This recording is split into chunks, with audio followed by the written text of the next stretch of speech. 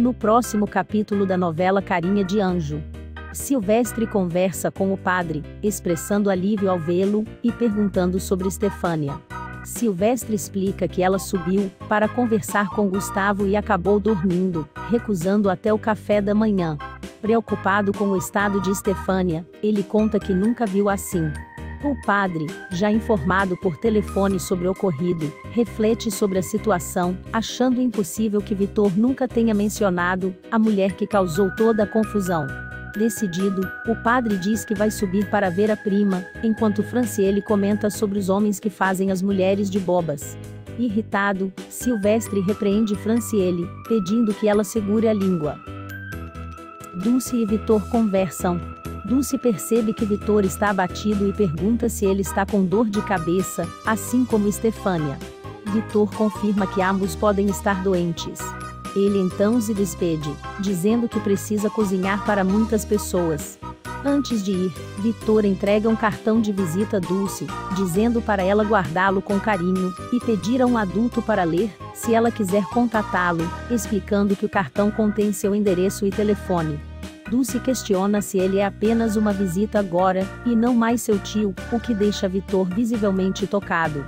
Depois, Dulce pergunta ao pai se é verdade, que Stefânia e Vitor não vão mais se casar. Gabriel tenta animar Stefânia, que está abatida e sem vontade de sair do quarto. Ele a chama de prima e brinca, sugerindo que ela pelo menos troque de peruca para uma preta de luto. Estefânia comenta que não sabe se consegue se levantar, expressando a profunda dor que sente, uma dor que nunca imaginou sentir na vida. Gabriel pergunta se ela já falou com Vitor e se ouviu o lado dele, mas Estefânia responde que não tem interesse em falar com ele. Gabriel aconselha a não se deixar levar pela raiva, mas Estefânia afirma que está apenas seguindo a verdade, mencionando as cartas, fotos e a mulher que viu. Ela diz que Vitor nunca deveria ter escondido isso dela. Gabriel então a chama para perto, oferecendo conforto. Verônica sugere que Dulce tome um sorvete, e Gustavo, animado, apoia a ideia, mencionando que está tranquilo no momento e que pode passar um tempo com ela antes de levá-la para o colégio. No entanto, Dulce recusa, dizendo que não quer mudar de assunto e insiste em falar com a tia Perucas imediatamente. Gustavo tenta dissuadi-la, afirmando que está ocupado, mas Dulce lembra que ele disse que não estava fazendo nada, questionando Verônica, que hesitante, confirma. Gustavo cede, reconhecendo que Dulce é insistente e concorda em levá-la para falar com a tia Perucas, mas pede que façam isso rapidamente. Dulce celebra com um milpi. Preocupada com as fofocas dos pais das alunas, a madre informa as alunas que a visita delas na casa de Inácio e Diana, para assistir o comercial da Dulce Maria foi uma exceção, e não irá se repetir. Pascoal questiona se Inácio vai proibir o namoro de Zeca com Juju. Inácio defende sua posição dizendo que um pai sabe o que é melhor para o filho, mas Pascoal discorda, mencionando que o pai de Diana não queria que ela namorasse Inácio. Inácio afirma que sua oposição não é por preconceito, mas Pascoal argumenta que ele não pode decidir tudo na vida do filho. Inácio lembra que seu próprio pai era autoritário e que ele obedecia, mas Pascoal questiona se isso foi bom para ele. Pascoal sugere que Inácio ensine de forma diferente, enfatizando a importância de dar exemplo e orientação, não apenas regras. Inácio pergunta se deve ceder a todas as vontades do filho, ao que Pascoal responde que é preciso ouvir e entrar em acordo, não viver a vida do filho. Inácio argumenta que Pascoal só fala isso porque não tem filhos, mas Pascoal responde que agora tem um filho e três netos. Como pai postiço, Pascoal se recusa a ditar o que Inácio deve fazer, deixando com seus pensamentos enquanto vai buscar o carro novo do colégio. Flávio agradece a Nicole por renovar o plano da academia. Nicole diz que ele ainda vai pagar por isso, mas o importante é que estão próximos novamente. Quando Flávio tenta abraçá-la, ela recusa porque ele está suado.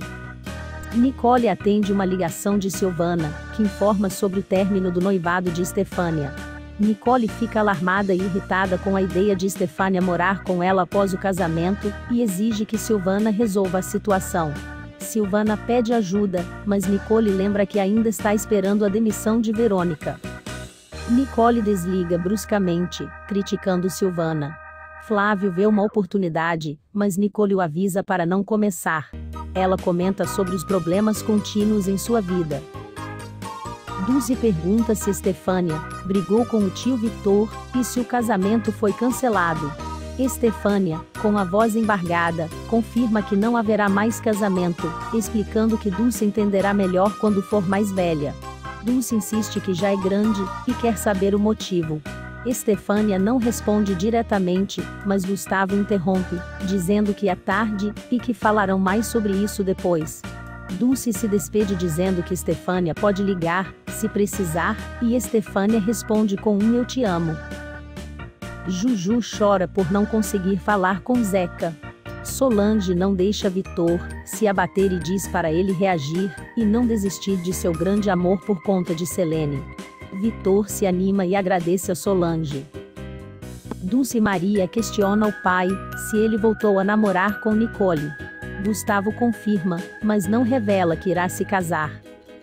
Vitor agradece Silvestre por ter permissão para subir. Silvestre expressa desagrado por ter desobedecido às ordens de Estefânia, que não quer vê-lo.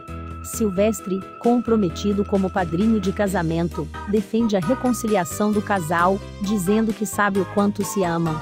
Eles discutem brevemente sobre o estado de Estefânia, que está no quarto de Dulce Maria tentando se distrair. Vitor decide falar com ela, mas é pedido para dizer a Estefânia que houve uma tentativa de impedir sua subida, caso ela pergunte. Estefânia está no quarto e ouve batidas na porta, pensando que é Silvestre. No entanto, é Vitor que entra. Estefânia expressa sua vontade de não vê-lo mais, mas Vitor insiste que eles precisam conversar. Estefânia questiona o propósito da conversa, afirmando que não quer ouvir mais mentiras. Vitor tenta se justificar, explicando que nunca mentiu para ela, apenas omitiu informações, e assegura que não tem nada com Selene. Estefânia, irritada, manda ele parar de falar o nome de Selene. Vitor tenta explicar que terminou com Selene há muito tempo, e que ela é apenas uma pessoa do passado que reapareceu. Estefânia, ainda desconfiada, lembra Vitor que ele disse nunca ter tido uma história de amor, ou se apaixonado por ninguém, mas a situação atual contradiz isso. Vitor admite que disse isso, porque a história com Selene o machucou tanto que ele apagou de sua memória. Ele afirma que se recuperou graças ao relacionamento com Estefânia e ao sentimento que eles compartilham. Apesar das explicações de Vitor, Estefânia continua magoada e diz que não adianta mais, pois ele escondeu essa pessoa dela e ela não consegue mais confiar nele. Gustavo e Cecília conversam. Gustavo expressa preocupação, mencionando tanto a situação de Dulce quanto o término do noivado de Estefânia e Vitor. Ele avisa Cecília para se preparar, pois Dulce deve lhe contar sobre o fim do noivado. Cecília lamenta a situação, notando quanto Estefânia e Vitor pareciam apaixonados e próximos do casamento. Gustavo reflete sobre a imprevisibilidade da vida e como às vezes abandonamos grandes amores sem entender o motivo. Ele também fala sobre como a vida dá segundas chances e menciona que ele próprio voltou com Nicole, apesar das dificuldades, e que finalmente sua filha aceitou Nicole como sua namorada. Cecília fica abalada. Estefânia e Vitor estão em uma conversa carregada de dor e frustração. Vitor pede a Estefânia que lhe diga o que pode fazer para ser perdoado. Estefânia responde pedindo que ele o esqueça, o que o machuca ainda mais. Ela insiste que ele pare de machucá-la e, se realmente a ama, que vá embora. Vitor expressa seu sofrimento e frustração, dizendo que ele também está se machucando e que ela não sabe o que ele está passando. Apesar disso, Estefânia pede novamente para ele ir embora, alegando que está doendo muito. Vitor promete esperar e conversar com calma no futuro, mas Estefânia encerra a conversa dizendo um doloroso adeus. Dulce pede para Cecília e Fabiana levarem ela até a cidade para conversar com Vitor. Nicole e Gustavo estão em uma conversa tensa sobre o estado de seu relacionamento. Nicole expressa frustração por sempre ser deixada em segundo plano e questiona Gustavo sobre a falta de comprometimento dele. Gustavo tenta justificar dizendo que muitas coisas aconteceram, mas Nicole o interrompe, lembrando que ele frequentemente desmarca compromissos e não parece mudar. Ela exige que ele defina o futuro deles agora, pois precisa tomar decisões sobre sua vida. Gustavo tenta adiar a conversa, dizendo que vai verificar sua agenda para marcar um novo jantar, mas Nicole insiste em saber imediatamente o que ele tem a dizer. Gustavo então menciona que hoje a filha dele, Dulce, perguntou sobre o relacionamento deles. Nicole responde que a filha já deve estar ciente há algum tempo e quer saber sobre o futuro do relacionamento deles. Enquanto isso, Vitor recebe Selene em sua casa. Selene faz comentários críticos sobre a casa de Vitor, insinuando que foi decorada por outra pessoa e que ele sempre se deixou levar. Vitor expressa arrependimento por ter deixado Selena entrar em sua vida, mas ela tenta minimizar a situação, alegando que suas críticas são para ajudar. A conversa rapidamente se torna mais pessoal e confrontacional. Vitor acusa Selene de tê-lo traído, o que levou ao término do relacionamento e a um sofrimento profundo para ele. Selene admite o erro e expressa arrependimento, pedindo uma chance para recomeçar. Vitor, no entanto, está furioso e não acredita nas desculpas dela, chamando-a de falsa e interesseira. Ele a confronta, questionando por que não percebeu antes seu verdadeiro caráter. Selene tenta sair da situação, mas Vitor a impede, insistindo que ela não fuja e que vá embora de sua vida de vez. A discussão termina com Vitor gritando e chamando Selene de louca, enquanto ela se afasta. Inácio conta para Zeca que gostaria que ele não namorasse mais com Juju. Zeca avisa aos pais que irá conversar com a Madre Superiora.